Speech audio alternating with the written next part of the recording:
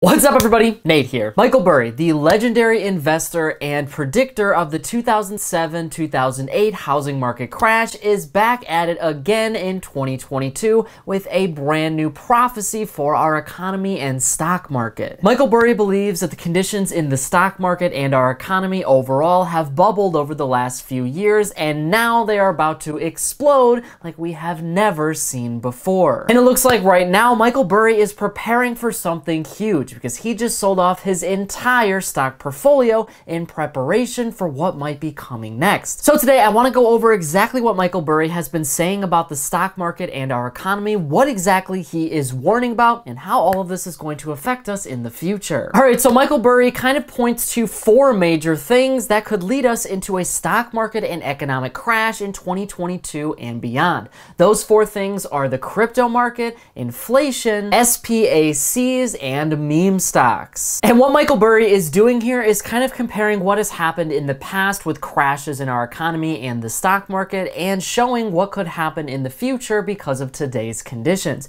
He actually believes that we are not completely at the bottom of a stock market or economic crash just yet, but we are just now starting the process. Now, the first two things that Michael Burry is discussing here has to do with meme stocks and cryptocurrency. Michael Burry believes that those two assets are extremely speculative exactly like what he saw during the 2007-2008 housing market crash. Essentially what happened back then was you had the subprime mortgage crisis, so you had millions of borrowers that ended up not being able to pay off their mortgage at all. This is because of things like ninja loans, where people were literally getting loans that, well, they didn't have to prove their income, they didn't have to have a job, they didn't have to have any sort of assets in order to get this money. They basically just walked into the bank and said, I want a mortgage, and they got one. Not only that, but people had adjustable rate mortgages, so they were getting a deal at the beginning of their mortgage cycle, but five years down the road, those mortgages reset, and when they went back up, these people could no longer afford their mortgage payments. And then finally, banks and financial institutions were again giving out loans to anybody. They were giving out subprime mortgages. So even though you might have a really bad credit score, you were still going to get the same mortgage as somebody with a really good credit score. So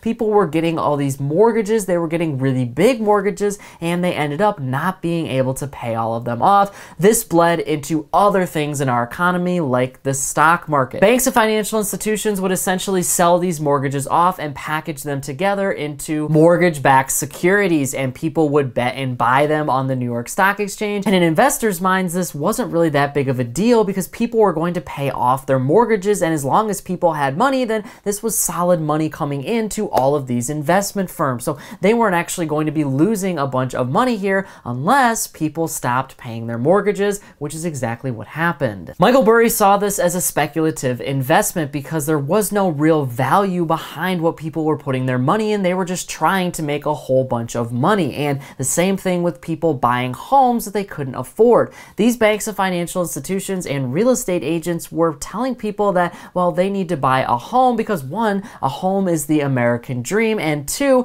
your home is all always going to gain value over time. It's never going to lose value. So you can buy it for whatever you want. And then 5, 10, 15 years down the road, you can sell it and you can have no problem. You're going to have all of this money because a home is an asset. That obviously assumes way too much about our markets and assets in general because we know no single asset in the world goes up forever. It's going to have its ups and downs. And the same thing can be said about the housing market. Now he believes the same exact thing is happening with cryptocurrency and meme stocks. So cryptocurrency has exploded over the last couple of years, mainly due to the fact that we've had really bad inflation and we've had economic uncertainty. So people don't really know what's going to happen with our economy, with our money, so they're going towards other things like cryptocurrency. They're investing in hedges and they're investing in possibly the future of technology and money. Not only that, but there's been a lot of new investors, there's been a lot of new investments in technology, so the cryptocurrency market has exploded, along with the Federal Reserve printing trillions of new dollars, meaning investors have so much more money to invest than they did before. Now we are starting to see the cryptocurrency market come way back down. In November of 2021, Bitcoin hit an all-time high of around $66,000 for one coin.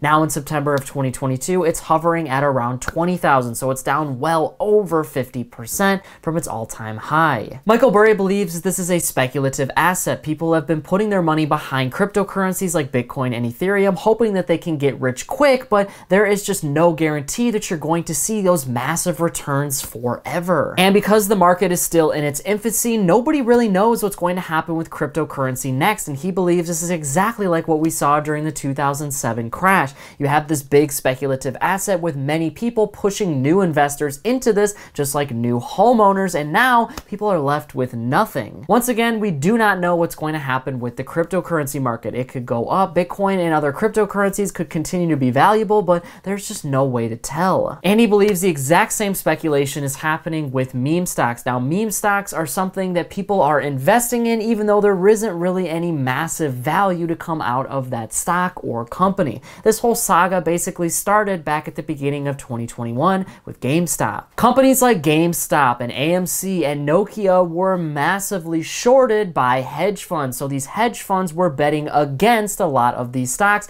and they were making hundreds of billions of dollars. But online communities eventually caught wind of this and they didn't like that these hedge funds were essentially purposely pushing down a lot of these stocks that they really enjoyed. So they decided to start buying these stocks in mass. That eventually pushed up a lot of these stocks, so they had a lot of success, and the bet that the hedge funds made against them ultimately failed. Some hedge funds even went out of business. But the success didn't last forever, and now you have millions of people who are investing in these stocks, and now they're losing tons of money. That has kind of resurfaced again with companies like Bed Bath & Beyond in 2022. People are starting to invest in these meme stocks, but these companies don't really have any success that could be coming in the near to distant future. Well, that means the speculation and money goes back into the stock market, and once you have all of these people that lose a ton of money, and especially beginner investors that lose a lot of money all at once, now tons of money exit the stock market immediately, and that could lead to a stock market crash. The third thing that Michael Burry sees is the SPAC crash. Now, in 2020 and in 2021, SPACs were huge. These are special purpose acquisition companies, and they're basically just shell companies that are formed to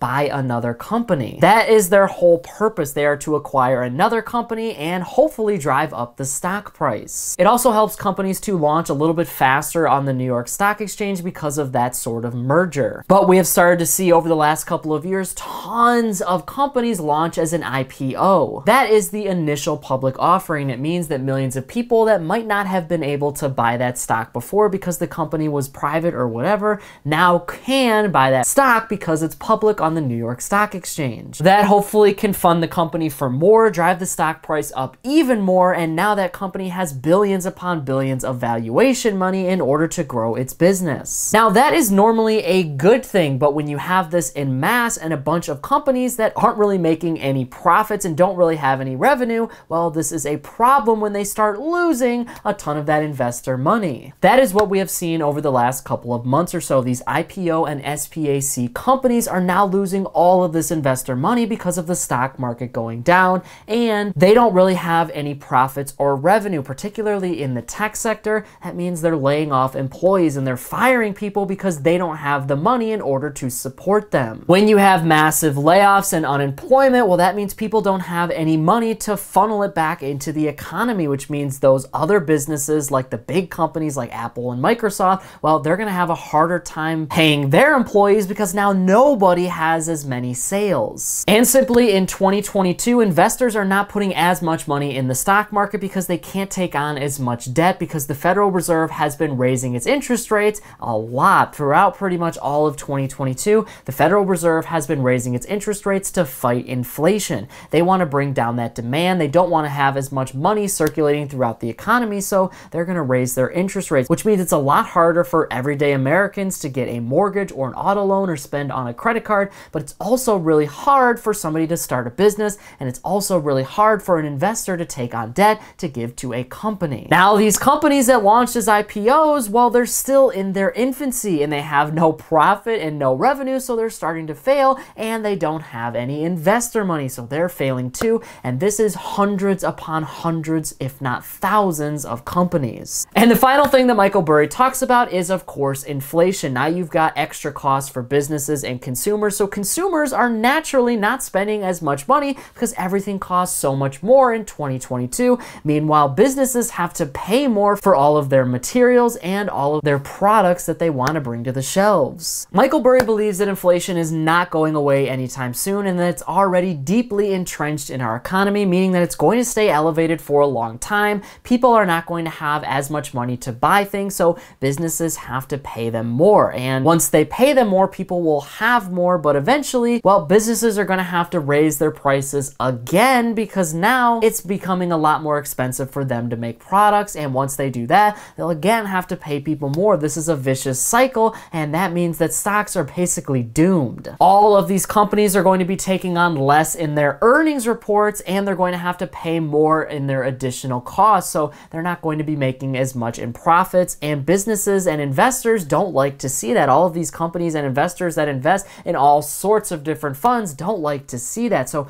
they're starting to pull their money out, and that's why the stock market has been slowly trending downwards. And it's exactly why Michael Burry has sold his entire stock portfolio. Now, the big question is what exactly does this all mean? Well, as far as meme stocks go, people are always looking to make a quick buck, and people right now are investing in these meme stocks not to make a whole bunch of money, but they want to stick it to the establishments like hedge funds. And they're willing to lose money in order to do that, but I think once people start losing a ton of money and go into financial ruin, then you'll start to see that saga eventually end. Of course, there are some people that are investing in these stocks because they're starting to go up and they believe that they could be the next big thing, but that's something that each individual is going to have to look at in their own portfolio and decide if it's a good buy for them. A lot of these companies define fundamentals, but that's been going on pretty much since the history of the stock market, and that is definitely not going to end. And what it comes down to is financial education, and you have to know how to pick these stocks for your own situation. The cryptocurrency market is interesting though, because it could be the next big thing, or it could be a flop like the 2007 housing market crash, and right now it's really too early to tell.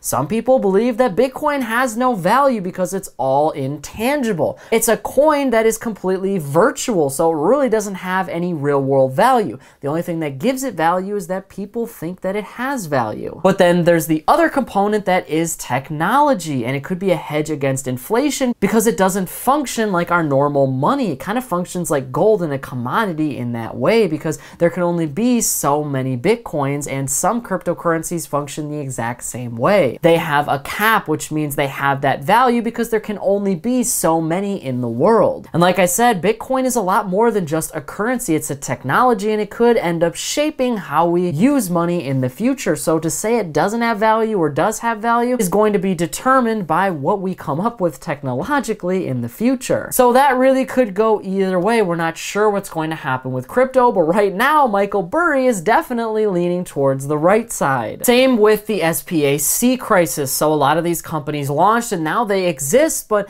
honestly, because of our economic conditions, a lot of them are probably just going to disappear. And that is exactly what happens during crashes, and it's what you have to keep in mind for all different assets, whether it's an SPAC or an IPO, whether it's a meme stock or whether it's cryptocurrency. The economic conditions kind of breed all of these companies and make them go up and up and up and create kind of this super bubble. But once again, the economic conditions are going to dictate if they're going to survive. And the fact of the matter is a lot of these companies that have no revenue and have no profits and bring in way too many costs simply are not going to survive in 2022 and in 2023. They can't make money from sales. They're not going to get any investor money and the government isn't bailing them out either. So they're going to have to be dissolved, bought by another company, or they're just going to go bankrupt. Same thing with cryptocurrencies. So crypto has exploded, but the cryptocurrencies that end up surviving this big economic crash that Michael Burry is predicting, those are going to be the ones that people truly do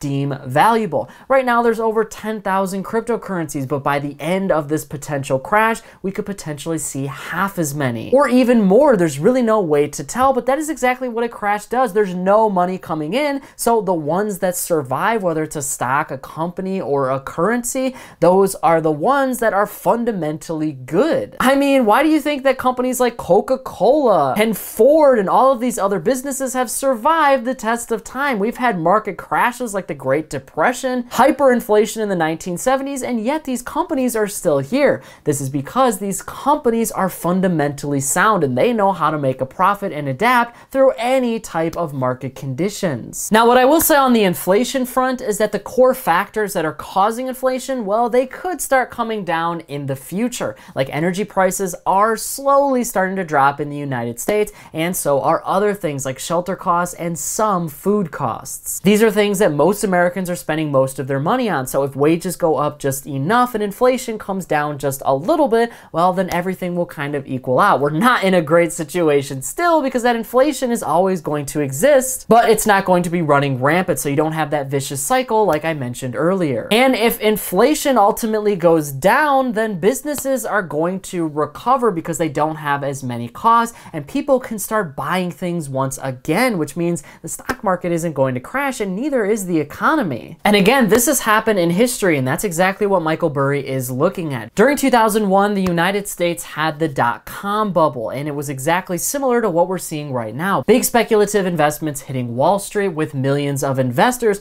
pouring their money behind companies that were unproven. A lot of these companies were tech giants and they were companies that basically just slapped .com on their name and suddenly they were valued at a billion dollars because the internet and websites was an emerging market. A lot of them ended up not making any money and they weren't successful because just slapping .com on your name does not mean you have a successful business. Investors tried to make money quickly off of these stocks and everything eventually crashed because of it. But what you have to remember too is even though things crash, eventually things go right back up. And I'm not saying that's going to be true with every single market, but we have seen this in the stock market and the housing market before. You got to remember in 2007, even though most people were going into foreclosure on their mortgage, well, we still ended up getting out of that entire crisis. Home values dropped by 90% then, but now in 2022, they are worth triple what they were back then. Things go in cycles, and this is exactly how our economy has always functioned. Same thing with the stock market. We've had stock market crashes, stock market booms before, and this is just how things go.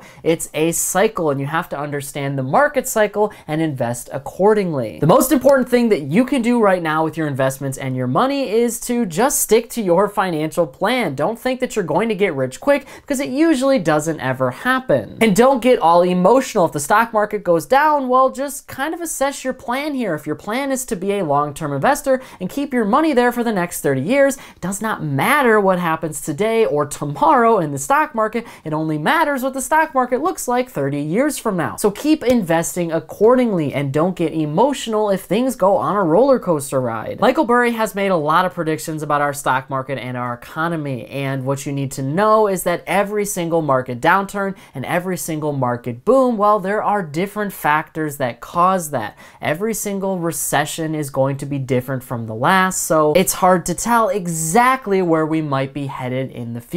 But at the end of the day, you are the one that can make the best decision for your own portfolio. Never blindly listen to investors or experts or random people on YouTube. Always do your own due diligence and make sure you're always financially educated while staying up on the times. And remember, the best time to invest and build wealth is today. It's always today. Don't worry too much about trying to time the market. Don't worry too much if we're in a boom or a bust. Always try to stick to your own financial plan with your own financial goals, and I can almost guarantee you that you will always end up on top. But now I want to hear from you on this issue. What do you think about Michael Burry's prediction for our stock market and economy in 2022? Do you think that factors like cryptocurrency and meme stocks and inflation and SPACs are creating a super bubble that is just now starting to pop? Or do you think that this time Michael Burry is wrong and these are not all speculative investments and once our economy and inflation starts to improve, everything is going to boom once again? Whatever your thoughts are, leave a comment below before you go. But that is it for today's business and financial news breakdown. Thank you so much for watching. If you want to stay up to date with all the top business and financial news from around the country, our team puts together a free daily newsletter and you can subscribe to it by clicking the link in this corner right here. And if you want to stay up to date with me and everything else happening in the business and financial world, I'm putting out updates seven days a week over here on this channel. And I've actually got another one ready for you right here. So be sure to check that out before you go. That is it for me, everybody. Be kind out there, and I'll see you all in the next one.